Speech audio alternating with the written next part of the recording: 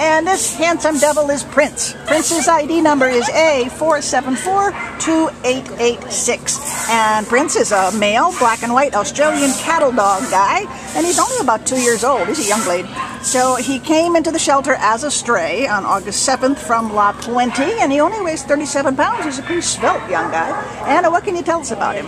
This guy, this guy's hilarious. I, ever since I've had him out, he's been trying to give me hugs, jumping up into my lap. Um, he's clearly got all of this puppy puppy characteristic and puppy energy about him because he's excited to Yeah. run around. Um, this guy's gonna need to be in a home that's full of activity and giving uh, a home that can give him plenty to do. Right. Because th- this kind of breed always needs something to do in order to keep their uh, energy level at bay and um, give them something to do all the time. Um, he's going to need some puppy training, um, some guidance. Um, he's very sweet and very loving. He's been giving kisses. Um, he gets along really great with other dogs.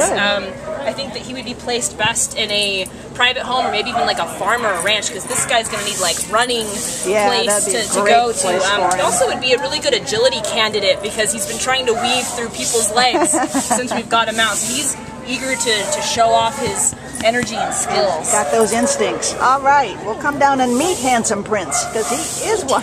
he wants found something delicious here something on my delicious shirt. on your shirt. He just loves that, and he loves your lap too. He just wants to rest. Hi, Prince.